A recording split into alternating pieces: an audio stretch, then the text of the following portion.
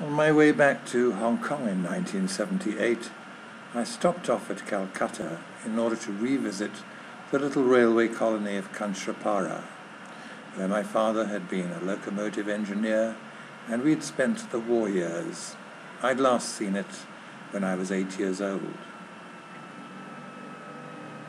Just a few miles beyond the railway, we made out a familiar building the Railway Institute, rising as incongruous as a Greco-Roman temple from the agricultural flatlands.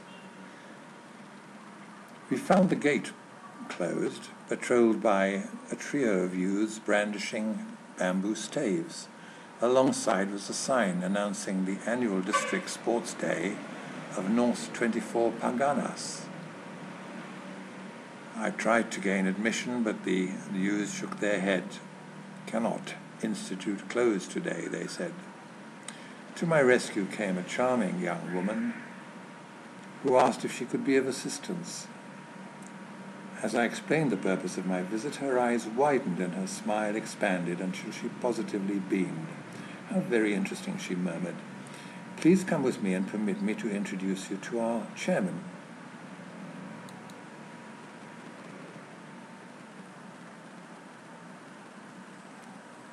I used to work under your father, said the chairman. He was a rather glum man, not easy to get along with, kept very much to himself. That sounds very much like my father, I agreed.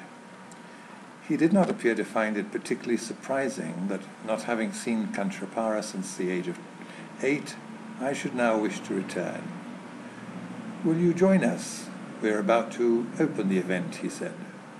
He led the way into the marquee where, as I assumed, I would be shown a seat in the audience. Instead, I was conducted on stage to join the dozen or so dignitaries seated there. I felt extremely awkward and out of place. The chairman approached the microphone and delivered his speech in Hindi, at the end of which he mentioned my name and turned to indicate that I was to take his place. Overcome with embarrassment and stage fright, I saw that it was not only rude but positively discourteous to ignore the summons, and quite possibly this was his test that he had imposed to avenge himself of the sins of my father. Composing myself as best I could, I replaced him at the microphone, thanked him for the introduction, and embarked on a rambling, disjointed explanation of how I came to be there. I had spent my childhood in Kanchrapara, I explained, and it had left such a mark upon me that I had long since felt the urge to return. The honor I had been accorded through this in invitation to join in their sports day would now contribute a further highlight to my store of memories. I scanned their blank faces. What a load of old bullock carts they must have been thinking.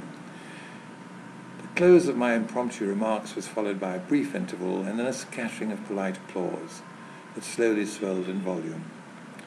I returned to my folding chair and sat out the rest of the proceedings, following which we retired outdoors for tea and sandwiches. I apologized to the chairman for the clumsiness of my remarks and for having left the audience in some state of confusion. They were surely bewildered as to why I had been permitted to gate-crash their sports day. Not at all, he replied. They were most impressed that we'd gone to the considerable expense of bringing you here as a VIP to grace our opening ceremonies. In fact, we'd be delighted if you could do this again next year. Turning the discussion to the Institute itself, I asked why they had chosen to erect their marquee on its grounds rather than stage the ceremony in that building's considerably larger auditorium. The chairman explained that the Institute had fallen into disuse. Except on very special occasions, it was generally kept locked. However, he could arrange to have it open for my inspection, should I wish. I took him up on this offer, and as soon as I could decently withdraw from the gathering, I accompanied the caretaker delegated to unlock the Institute doors. When they swung open, I was admitted into a high vaulted gloom to which my eyes required some time to adjust. A musty smell of stale, trapped air pervaded that cavernous darkness. I could make out the stage to the right and a long procession of chairs lined against the walls. The stark reality was suddenly overlaid by images of past occasions Christmas parties, costume balls, variety concerts, and cinema matinees. The contrast was so great that I dispelled them from my mind, thinking, not now, later, when I can afford to give them the anguish that they have brought forth. But I couldn't shut out the voices, reaching me as if travelling great distances underwater, lapping on the shores of memory like a foam on an unbidden tide.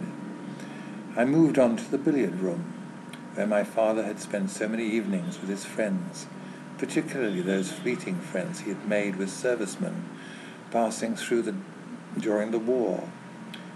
Dust sheets were laid across the tables, and cobwebs suspended from overhanging lamps swelled in the unfamiliar current of air. I thought for a moment I could see in that stagnant air the faint threads of cigarette smoke that had once clouded the room and imparted its special atmosphere. The realization struck me with painful clarity. The Bell Institute had become a mausoleum to a period of time that had no relevance, no bearing on the kind of occasion I had just witnessed in its grounds. So much had happened in the thirty years and more since I last saw it that I should have ex- not have expected otherwise. The wonder was that it should be there at all, preserved as an ungainly memorial to former folly, a temporary aberration in India's ongoing history that spanned millennia rather than centuries. The people who built it to enshrine their own fleeting rituals had disappeared like the lost tribes of Egypt, like so many other civilizations that have left their tantalizing traces in fallen monoliths and jungle ruins. We Anglo-Indians had become an endangered species, our heritage steadily eroded until it must inevitably disappear into oblivion.